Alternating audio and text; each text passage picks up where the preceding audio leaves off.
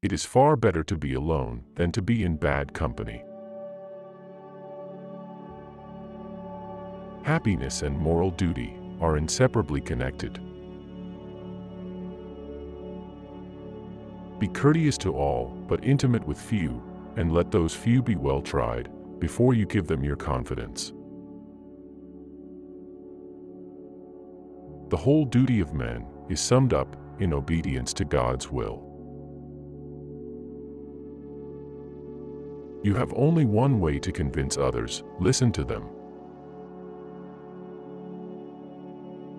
Leadership is not only having a vision, but also having the courage, the discipline, and the resources to get you there. Occupants of public offices love power and are prone to abuse it. When there is no vision, there is no hope.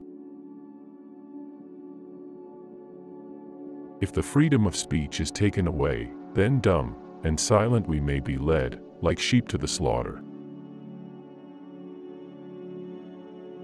In a free and republican government, you cannot restrain the voice of the multitude. Make sure you are doing what God wants you to do, then do it with all your strength. It is impossible to govern the world without God. It is the duty of all nations to acknowledge the providence of Almighty God, to obey His will, to be grateful for His benefits, and humbly implore His protection and favor. Truth will ultimately prevail where there is pains taken to bring it to light. The Constitution that we have is an excellent one if we can keep it where it is. Have the strength to be an honest person. We cannot guarantee success, we can strive to deserve it. Associate with men of good quality if you esteem your own reputation, for it is better to be alone than in bad company.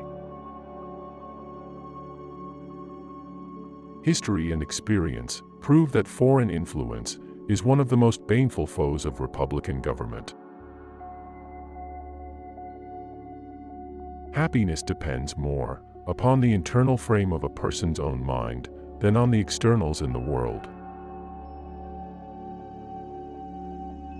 Religion and morality are the essential pillars of civil society. Honesty is always the best policy. Worry is the interest paid by those who borrow trouble.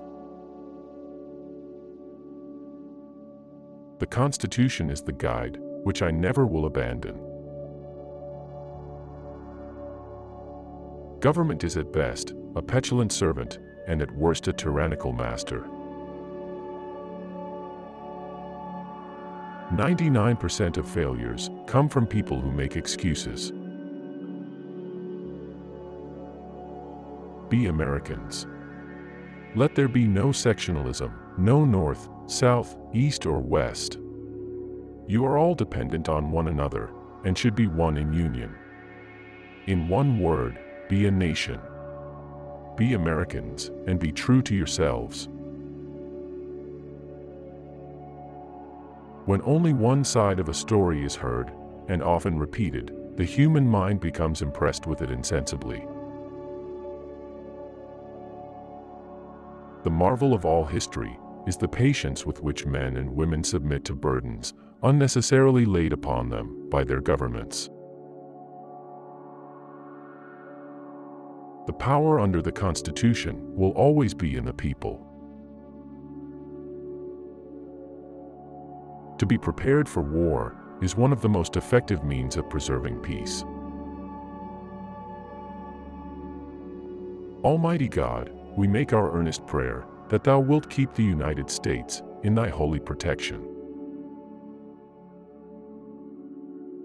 Perseverance and spirit have done wonders in all ages. Observe good faith and justice toward all nations. Cultivate peace and harmony with all. It is better to offer no excuse than a bad one. Liberty, when it begins to take root, is a plant of rapid growth.